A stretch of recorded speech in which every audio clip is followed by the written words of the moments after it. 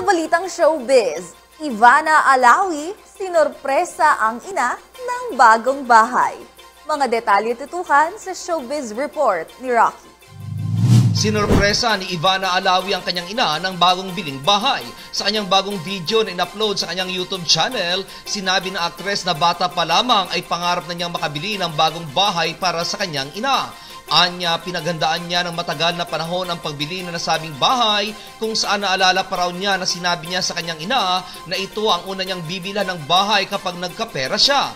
Lahat umano na makikita sa loob ng bahay ay mula sa kanyang pagsisipag kaya sobrang happy umano siya dahil natupad niya ang isa sa mga pangarap niya sa buhay, ang mabigyan ng bahay ang kanyang pamilya na mula talaga sa pinaghirapan niya. Anya noong binili niya ang lupa ay hindi niya sinabi sa kanyang ina at talagang balak niyang isorpresa ito kasama ng kanyang kapatid na si Mona. Si Mona raw kasi ang tumulong sa kanya kung bakit siya nasa YouTube ngayon dahil napaka-supportive nito at hindi kailanman humingi ng pera. Kapag siya umano ay nagtatrabaho sa mga shoot at vlogs niya ay inspirasyon niya ang makapagpatayo ng bahay.